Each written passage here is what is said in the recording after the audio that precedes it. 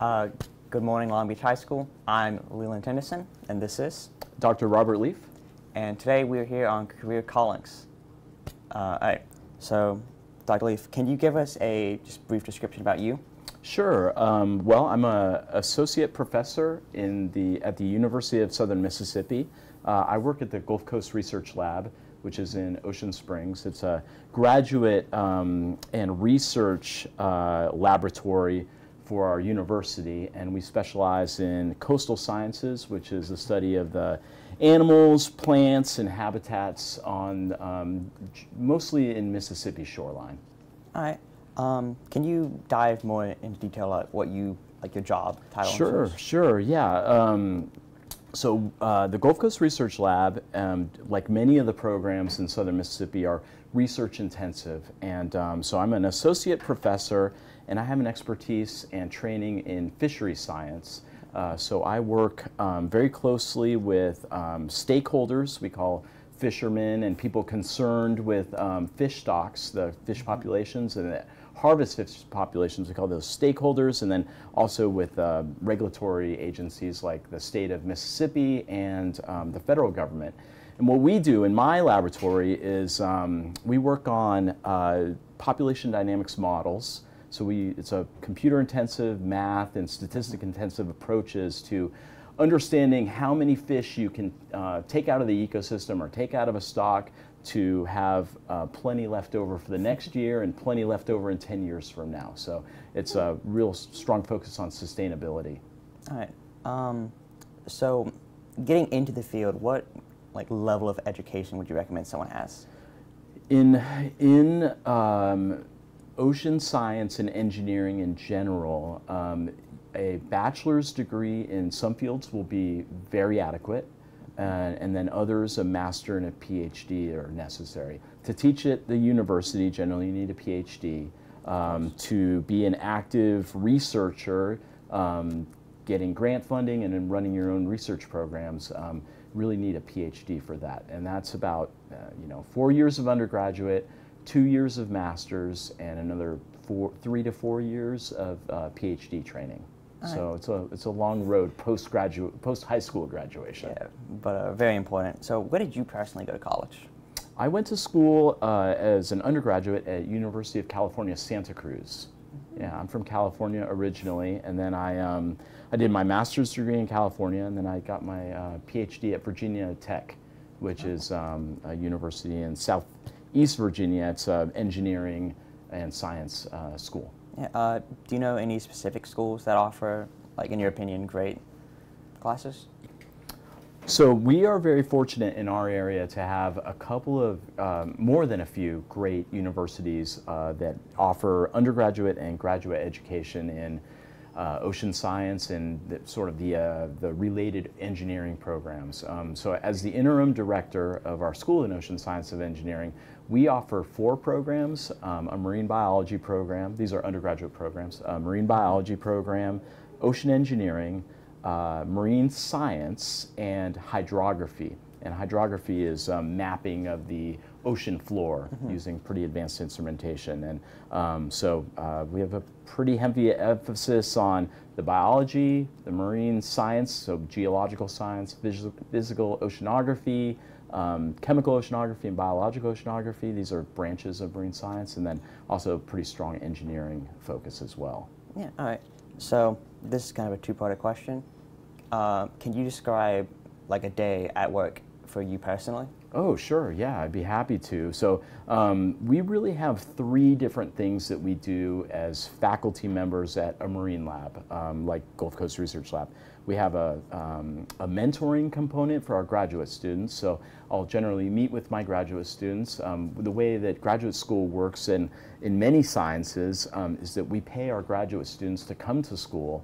Um, we pay them um, uh, a salary and then we pay their tuition. So they're working on active research. And so I'll meet with them in the morning, we'll touch base on their research.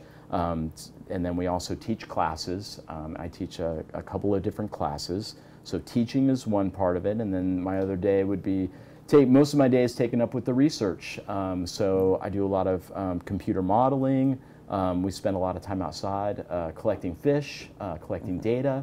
So we'll be out in the field, uh, on the boat, or we'll be in the laboratory.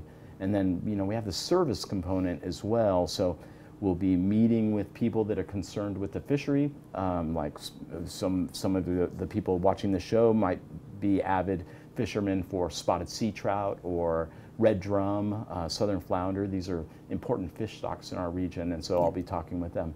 All right. Um, was there anything kind of specific that drove you to this field?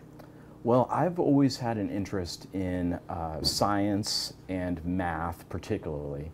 And um, uh, so that's always, and I've always loved to be outside. And this job is, I think, good for, it's best, I think, for people that enjoy being outside, uh, collecting information about nature, but also very interested in applying, you know, some sophisticated methods like um, uh, either statistical methods or mathematical um, applications. So I think, um, so that's what drew me because it, it's a nice combination of those two. I'm not always inside, but I'm not always in the field every day. Yeah, I get that. Um, so, kind of leading off the last question, are there any kind of distinct advantages you feel like you get working in this field? Right. So, um, yeah, that's a really good question. Um, so, I think there's really two main things for me, and that the first is the quality of the work and that you enjoy what you're doing. I particularly enjoy doing research and uh, mentoring of students and also the service component, and I think that really leads into that second thing that I enjoy doing, and I think a lot of people in the sciences enjoys feeling like they're making a difference in people's lives. And um, so the, the, the work that we do has a sort of a direct and immediate impact on um, the, you know, the economic health of our region, um, the people, people's ability to catch fish as they'd like, um, make sure they can take their kids to catch fish. And um, so those really, those are the aspects that I particularly value. All right. Um, so, what other career paths do you kind of work closely with?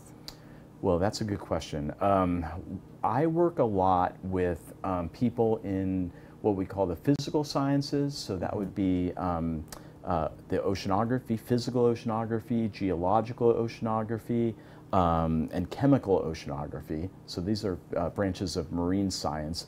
We're often interested in, even in the absence of fishing, how the, how nature and um, the sort of the status of the ecosystem um, controls whether a fish stock is moving up, moving, getting in greater abundance or less abundance. And then the other group that we work a lot with is the ocean engineering folks. They develop all the, the instrumentation. These are uh, people that are concerned with uh, electrical and mechanical engineering, and they develop all of our instrumentation so we can observe uh, the sort of the physical and chemical characteristics of the water.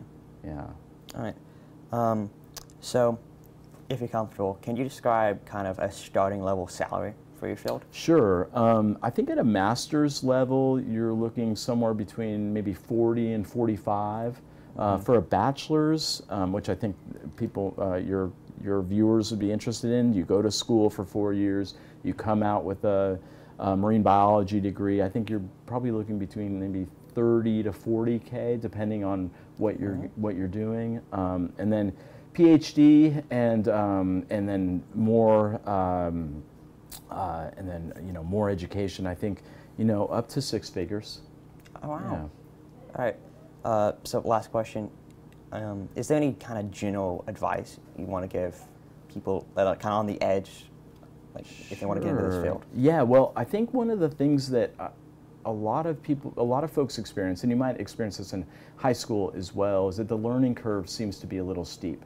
It's um, it's not everybody that's going to take calculus as a senior, for instance, or um, uh, or geometry. I think that must be the one before calculus that you take. So Yeah. it's a fairly steep learning curve, but um, if you can develop that skill set very early on, it'll take you very far. Um, so, uh, so I think, I think that's probably, I think that's probably the best thing to say is that um, you really have to enjoy doing math and science to become a scientist Yeah. because it can be pretty consuming. Yeah, I get that. All right. Well, um, do you have any final remarks you want to say?